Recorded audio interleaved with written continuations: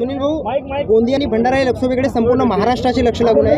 यामध्ये एक नवा ट्विस्ट आला आहे प्रफुल्ल पटेल यांनी म्हटलं आहे की हा पारंपरिक राष्ट्रवादीचा गड आहे. त्याच्यामुळे आम्ही या ठिकाणी लढायला अजूनही इच्छुक जागा सोडलेली नाही काय सांगाल?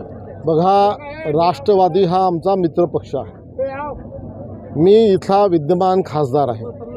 तब्बल दोन लाख मताधिक्याने मी निवडून आलेलो आहे.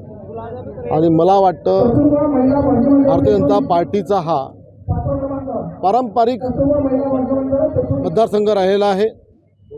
आणि मला विश्वास आहे आमचा पक्ष भारतीय जनता पार्टीसाठीच खासदारकीची सीट ही आम्हाला मिळेल.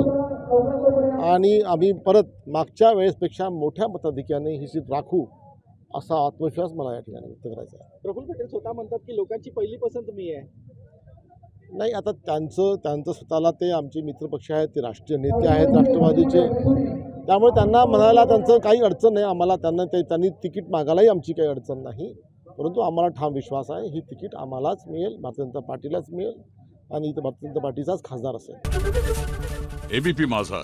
उघडा डोळे बघा नीट.